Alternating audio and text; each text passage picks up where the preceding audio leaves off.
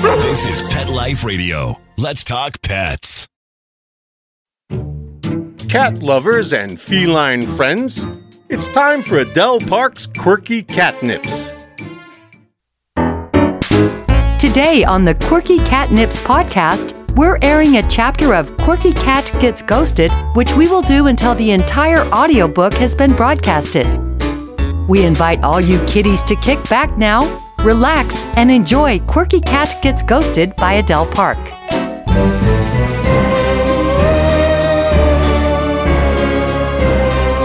Audio Recording St. George presents Quirky Cat Gets Ghosted.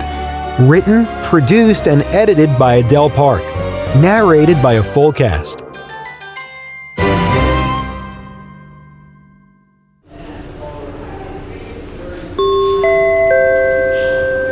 A directive from Gertrude Fletcher, head of the Naval Utah Department of Motor Vehicles. Part 6 I don't like cats. I do respect their ability to navigate precarious situations, however. Have you ever watched a cat weave through a shelf full of glass collectibles without disturbing a single one of them? Dogs, by comparison, bulldoze forward, happily knocking asunder anything within a tail's reach. Dogs may be man's best friend, but in the case of Blue McKenna, cats are her only hope for salvation. Blue dislikes cats even more than me, a feeling that is amplified in the case of one cat in particular Skitters. I never had the displeasure of meeting Skitters when I still had a pulse. I try to avoid this oversized flea magnet in my current state as well. Blue can't afford the luxury of ghosting Skitters. He's the only one in her former sphere who can see her. Cats have always been attuned to the supernatural. Perhaps this is why there is a close association between felines and the occult. Have you ever seen a cat suddenly arch its back and hiss when there's no apparent threat? It happens a lot when Skitters finds himself in the vicinity of Blue. I take it this was a contentious relationship to begin with. Things haven't improved with Blue's passing. Calling upon Skitters for assistance is tenuous at best. Unlike dogs, cats don't enjoy doing the bidding of humans. They have their own agendas. It takes a proper amount of nudging to compel felines to act, even when it is in their own best interest. Miss Kitty is one such example. I had already perished when Juniper Hollow was set ablaze following a domestic argument between a polygamist woman and her mobster husband. Two cats survived the fire, carried out of the flames by a mama kitty who later succumbed to smoke inhalation. Drawn to the commotion caused by the ruckus, I was on hand to prod Miss Kitty to climb to safety at the top of Granite Ridge. The other cat, one called Harriet, remained behind, waiting to connect with the polygamous child who once handled her. Both cats are still alive today, and both have been entangled with skitters. Pity this is what Blue is hanging her hat on to save her from an eternity of lurking around the division of motor vehicles. Next! In case you haven't noticed, you've been ghosted. Chapter 6 Skitters the Cat. Hell to the no, stenchy wench, especially if you're gonna Pepé Le Pew me. Seriously, girl, you smell like a week old pot of sulfur soup. Blue McKenna annoyed me in life. She positively galls me in death. This corpulescent bride of Frankenstein could never sleep with the fishes. They wouldn't have her down there. An entire ocean couldn't dilute her apocalyptic stink. Blue's body odor is so rancid, the food in my cat dish spoils the minute she shows up. Why does she keep coming around anyway? It's not like we're even frenemies. You have to like someone first to gain that status. Why then would I ever willingly commune with this putrid, vapor belching cadaver? At first, I tried to ignore her. I could close my eyes and block out the ghastly shimmer that she's become, but not her scent. I'll bet you didn't know this, but a cat's sense of smell is 14 times better than a human's. What might smell like a whiff of BO to you is like working the floor of a fart factory to me. Even more troubling is the fact that I can hear every snide word Blue says. Say what? You're going for the talking cat, but you draw the line at a ghost. Suit yourself, sweetheart. I've got a whopper of a tail to wag, so you can get off here if you don't like it. For those of you continuing on with our story, you may be wondering why Blue would waste time on a cat who would rather be at the vet's office having a thermometer crammed up its poop portal than hanging out with her. The answer is simple. I'm the only one open minded enough to see what is right in front of me. The rest of Blue's lot is floating down a muddy river called Denial. Scotty's Sphincter is as emotionally clamped down as his actual sphincter. Moon McKenna, Blue's twin, is unable to detect the sweaty crotch odor that now defines her sister thanks to copious amounts of a lotion called Almond Sunrise. I wish I didn't know this because it implies a level of intimacy that will never happen when it comes to me and Blue. Before she sweltered into the boiled egg gone south that she is today, Blue reeked of almond sunrise. It was a lotion Moon manufactured exclusively for her. Perhaps under different circumstances, I would have enjoyed this organically tropical scent. Because it was associated with a woman who deserved every torment I could drag her way, I detested it. Now that Moon has suddenly taken to wearing Almond Sunrise, I try to avoid her too. That's working out a whole lot better than dodging the left in the sun Limburger cheese that floats around in Blue's wedding dress. What's up with those cowboy boots? I asked, hoping to get under her skin, or whatever it is she has these days. There was no sense in acting like Blue wasn't around. The milk in my dish was curdling into rank, dingy strips of pale gunk. When Blue didn't respond, I realized it took a lot of energy for her to talk. She wasn't going to waste it telling me what a putz I am. Blue's opinions of me didn't matter when she was doing the mattress mambo wearing nothing but those boots, and they definitely don't now that she's dead. Just as a side note, Blue and Scotty really got their freak on when it came to her white cowboy boots.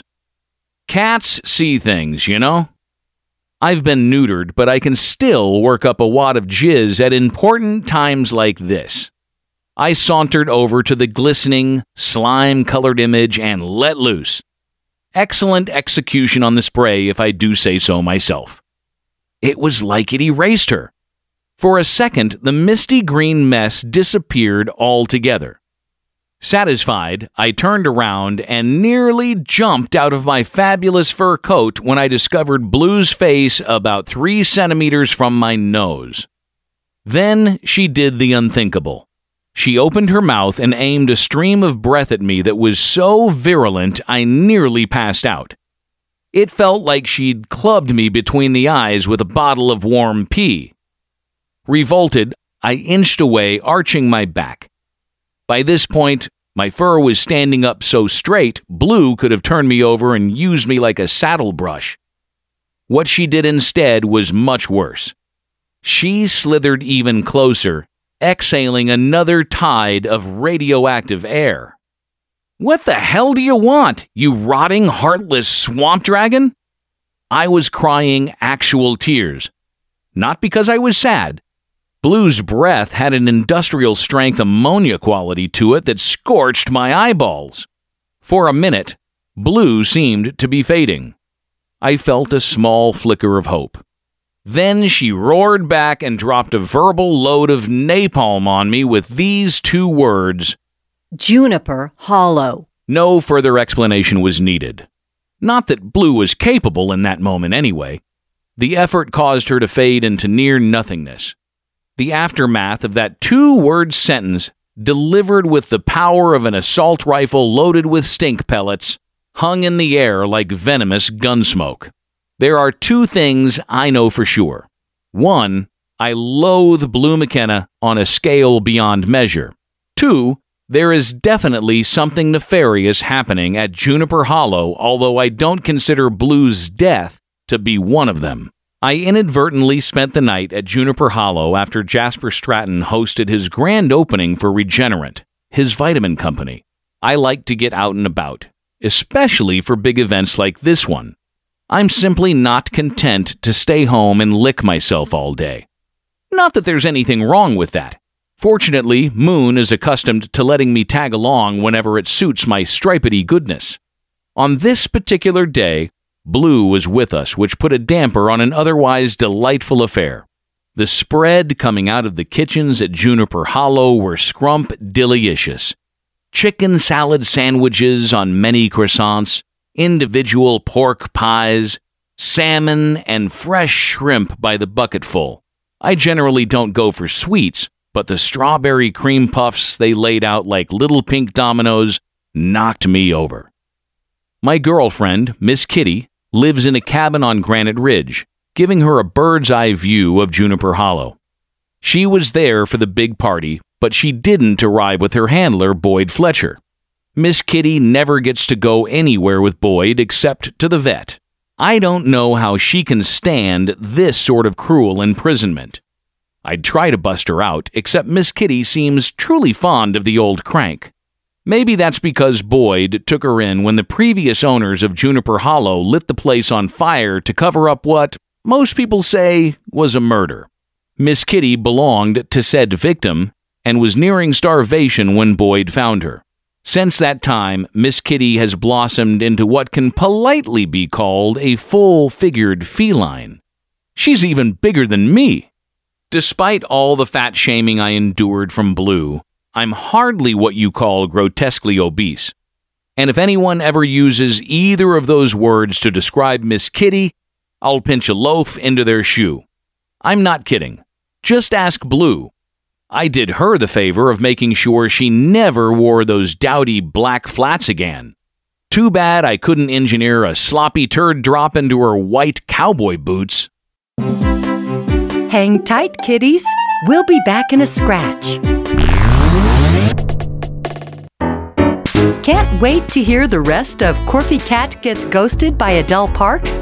Get ghosted today on Audible, Spotify, and Barnes & Noble. Meow, bitches. I really don't like audiobooks, but this one kicks ass.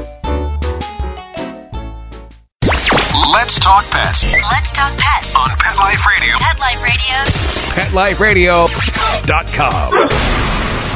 Getting back to Juniper Hollow, Miss Kitty met me on the backside of a three story tower they call the Residence. I wondered if Jasper Stratton and his zoned out wife lifted this term from the White House. True, the residence at Juniper Hollow is white, but these two probably don't even vote. A gray flagstone patio surrounds the entire residence, with a common plaza connecting it to the regenerant plant. I was happy to discover the kitchen in the regenerant building was directly across from the kitchen on the east side of the residence. This meant the doors to both buildings were propped open, giving Miss Kitty and I easy access to either place. Most of the hot food was coming out of the residence kitchen, including a load of tot sized pepperoni pizzas. Pepperoni makes me gassy with a heartburn after effect, but it has a special place in my food memory. Pepperoni pizza was the first thing I was given to eat after I got my paw flattened by a car. The lady who smushed it didn't have any cat food. I had been living in a parking garage, so that greasy Italian ulcer maker went down like a Sunday morning. Most people have no idea what it's like to be hungry. For this reason, I absolutely refuse to be bullied about my body. You got a problem with my size or Miss Kitty's glorious full figure? Go fuck yourself. With a giant nightstick. Because obviously you need to dislodge whatever it is you have shoved up your shanker. Moving on.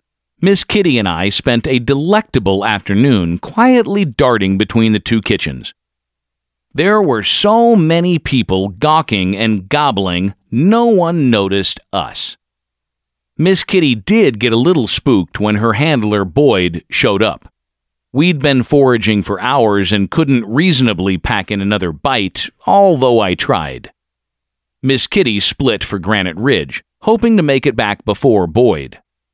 She gets free run of the ridge, but Boyd gets stressed when he spots her roaming around at Juniper Hollow. And he's always looking. Boyd's got a pair of high powered binoculars that could detect a freckle on the butt of an ant.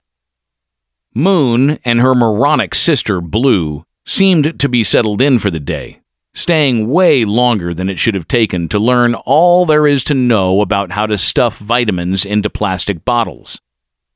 By mid afternoon, the pepperoni pizzas were making me woozy. I wasn't quite through with them, however, so I snuggled in for a little shut eye in a dark corner of a laundry room on the first floor of the residence. I was feeling a tad delirious from all the food and slept longer than I planned. It was dark when I woke up. The doors leading outside were no longer propped open. Fantastic! I ate myself into an afternoon coma, and now my ride back to Gecko's Gulch was gone. No way I wanted to walk home in this condition. Better to show up on the doorstep of Boyd's cabin and have him call Moon. Her twin daughters would be losing their sweet little minds worrying about where I'd gotten off to. All I had to do was figure out how to get out of the residence without getting caught. It wasn't the humans I was afraid of. They'd probably just open a door and scat me out. It was the damn dog. Cupcake. This yapping ball of albino pubic hair was anything but sweet. A real insult to cupcakes, especially the little yellow ones with lemon frosting I had during the open house. They were almost as good as the strawberry puff pastries. Cupcake didn't mingle with the crowd during the big regenerant revival. He was locked up on the third floor, baying like a drunken donkey. In between snatching goodies from the kitchen, Miss Kitty and I took the liberty of exploring the residence, quickly figuring out Cupcake was stashed in a corner room next to a large bedroom suite. I know this because we basically had free run of the place. Just to crank the albino Brillo pad, I made a big show of begging Cupcake to join us for the party. Of course, this drove the spastic yipster out of his screeching, pea sized mind. Miss Kitty's handler spends so much time snooping on Juniper Hollow, I already knew Cupcake had a doggy door going out to the balcony on the east side of the residence. Walkout balconies wrap around both the second and third floors with varying degrees of outdoor amenities. The one where they kept Cupcake had white, wrought iron patio furniture with pink and white striped seat covers, fake trees bursting with pastel flowers, and a pee pad. Yup, that's right. Cupcake lives in a phony ice cream parlor and pees on a pad. No wonder he's such a bitch. The door to Cupcake's room was closed during the party, so I didn't see what kind of digs he has. He was locked up in the suite where his owner, Kelly Stratton, lays her bottle blonde head each night. I noticed Cupcake was kept away from the room with the doggy door, leading to the bulbous pink patio where Kelly chain smokes while resting her sculpted butt on seat cushions designed by Baskin Robbins. Not hard to understand why Kelly drugs herself to infinity and beyond. Boyd Fletcher spends so much time keeping tabs on the happenings at Juniper Hollow that I'm familiar with the layout of the place. I've seen Boyd taking pictures or peering in with his government issue binoculars on numerous occasions. Miss Kitty fills me in on the rest. Basically, the place is top heavy with young female employees. On the weekends, the testosterone tribe helicopters in. The vitamin business may be legit, although you have to question why Jasper deliberately staffed it with polygamists. I'm not buying his garbage about giving back to the blighted community which discarded him like a soiled diaper filled with salty gruel. Jasper used to be on the inside. He was born to view women as commodities. The bug that crawled up Boyd's butt and was madly buzzing around has to do with the landing pad for the helicopter on top of the residence. True, Juniper Hollow isn't easy to reach, especially if you're coming from a place like Las Vegas or St. George, Utah. But who can't put in a two hour drive? According to Jasper, the helicopter is used to bring investors and board members to Juniper Hollow for meetings. Jasper greased a whole lot of palms to get the permit for the helipad.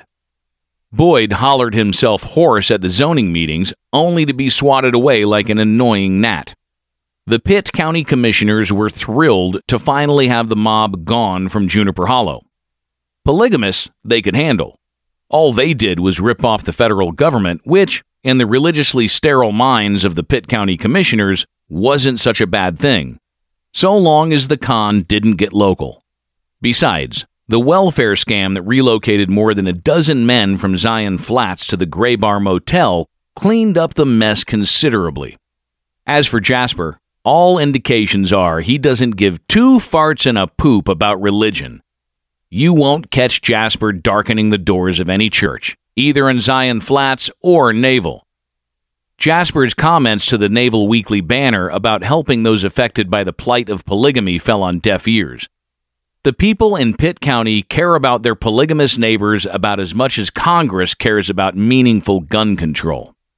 So, Jasper's got pligs filling vitamin bottles at Regenerant, girls in pale pink dress uniforms cleaning imaginary dust at the residence, and a posse of young, muscle bound Turks arriving by helicopter on the weekends. They stay on the second floor of the residence, in the mornings, you can see them on the covered balcony pumping weights and sweating spooge. Spending the night in the residence felt like it took a lifetime. The door leading to Cupcake's ice cream parlor pee pad area was shut.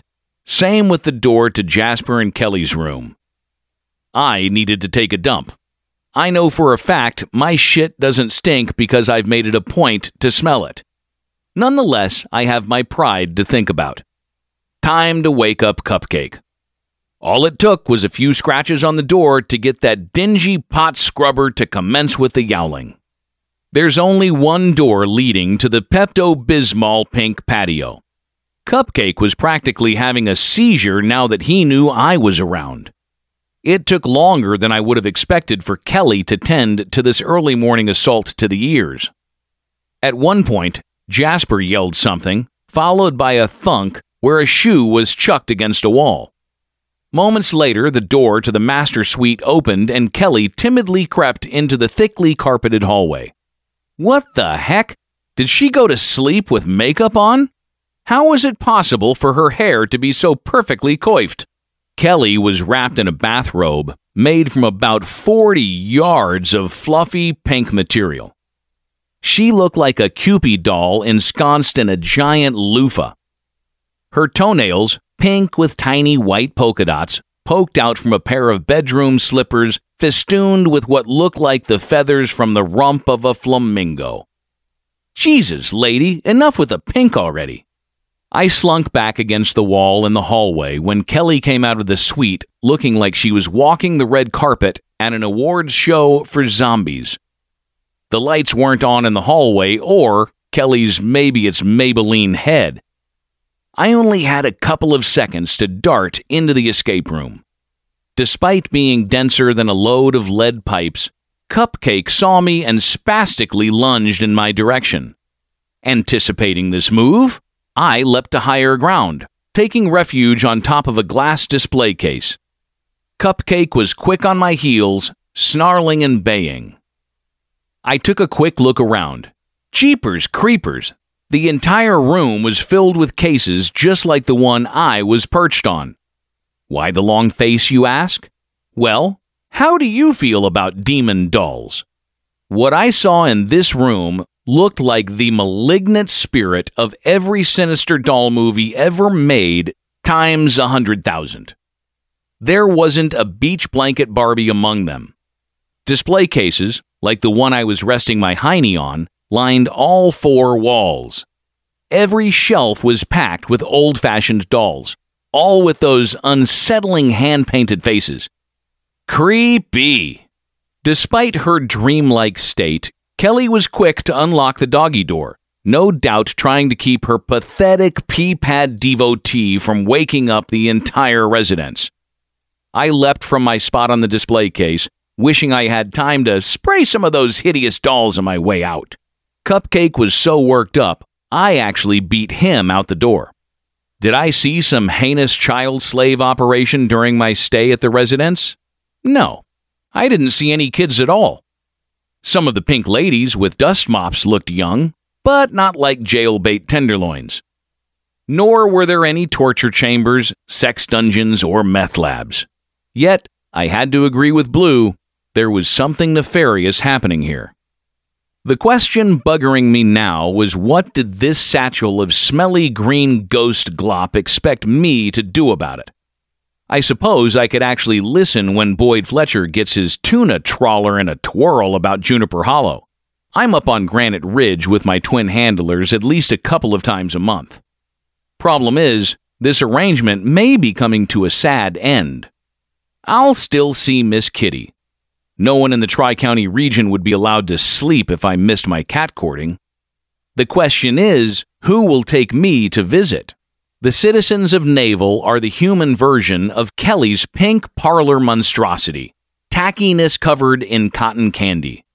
These Mormon soul scrotums are not the innocent Napoleon dynamites I once thought of them as.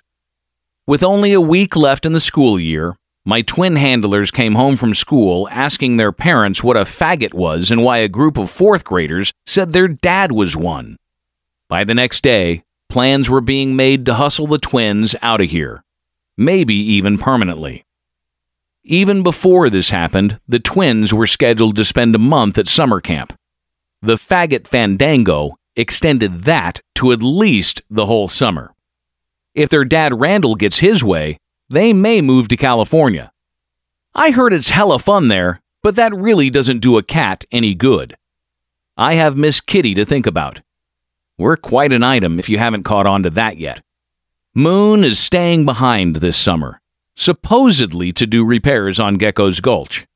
Since Moon slinks around like she's a ghost herself, I don't envision her making much progress. Lately, Moon has been about as empty headed as Kelly the Ookie doll hoarder. I get it. Moon is sad that Blue is gone. And her mother in law kicked the bucket just a few months before her sister. Nonetheless, the vacant lot growing dandelions in Moon's head makes her of no use to anyone. When it comes to Randall, he's boinking a young lawyer working to overturn the ban on gay marriage in California. This faggot situation in Naval is just pushing him further out the door. I've even heard Randall talking about putting his salon, the best little hair house in Naval, up for sale. Without putting it in actual words, since that's like trying to pry a buck from J. Paul Getty, Blue let me know she's going to stalk me until I help her figure out why she crashed into the piling on the bridge at Juniper Hollow. I would just ignore her, but there's no brushing off the overflowing septic tank smell. Miss Kitty has agreed to sneak back in the residence for another look, so that might make for an interesting afternoon. What rams a hot poker up my pee hole is the fact that Blue left this whole thing up to me. No wonder I can't stand her.